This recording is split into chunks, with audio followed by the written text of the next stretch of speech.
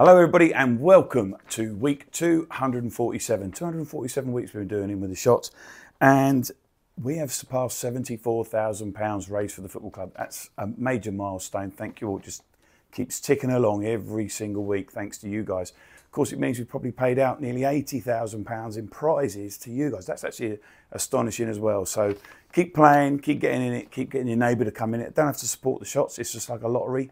Get everyone in. You remember, it's less than the price of a cup of coffee, of course. And a big thanks to Oasis Electrical, who've been sponsoring us for the majority of that time. Uh, this week, the £2 prize pot is £153 and the £5 prize pot is 170 So let's crack on with any, out any further ado. All the numbers are in. This is the £2 game. We haven't had a red number for a while, so we're probably due a bundle of them.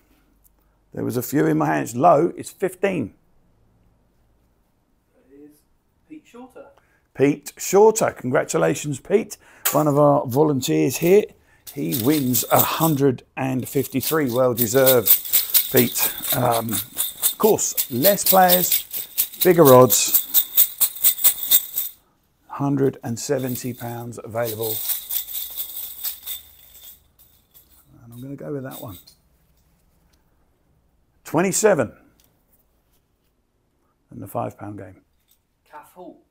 Calf Hall won number 27. Well, well done, Calf. You are the benefactor of £170. So there you go. Nice quick draw. No more red numbers. Get yourself in it to win it. Those two have just taken over at home just over 320 quid between them just by entering the competition.